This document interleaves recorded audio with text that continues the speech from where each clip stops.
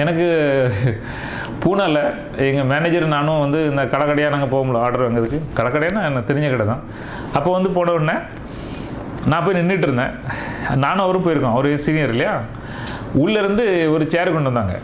அது அந்த சேர் சின்ன குட்டி சேர் ஒரு சேர் தான் வந்துச்சு வச்சோடனே சீனியர் சார் சார் உட்காருங்க சார் உட்காருங்க. இல்லை நீ இல்லை உட்காருங்கன்னு அவர் உட்காந்துட்டாரு அது இவ்வளோக்கான குட்டி சேர் அதில் ஒரு உட்காந்துட்டு அந்த அவங்கள்ட்ட இவ்வளோ இவ்வளோ இழுத்தாலும் பேசிட்டு இருக்காரு.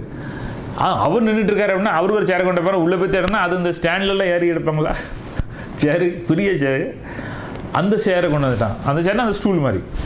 அதை கொண்டு கொடுத்தானா இதே ஏன் தரீங்க அப்படின்னா? இல்லை வச்சுக்கா அப்படின்னா.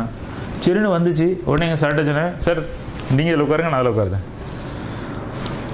அப்போ எங்கள் சார் எனக்கு ஒரு சின்ன ஒரு டைலாக் பெர்னாண்டோ சார் அவர் அவர்கிட்ட சொல்ல அவர்கிட்ட நிறைய படிச்சிருக்கேன்னு. அவர் என்கிட்ட சொன்ன டைலாக்கு நீங்கள் சின்ன சேர்லையும் நான் பெரிய சேரில் உட்காந்து பெரிய அளவு போகிறது கிடையாது அது மாதிரி நீங்கள் பெரிய சேரில் உட்காந்து அந்த அந்த சேரில் உட்காந்துக்கும் நமக்கும் சம்மந்தம் இருக்காது. அதை பற்றியும் கால் பண்ண நீங்கள் சும்மா உட்காருங்க அப்படின்னாரு. அதில் எனக்கு பெரிய தத்துவம். எத்தனை இருபது வருஷம் முன்னாடி நடந்த விஷயங்கள் அப்படியே மைண்டில் உட்காந்துட்டு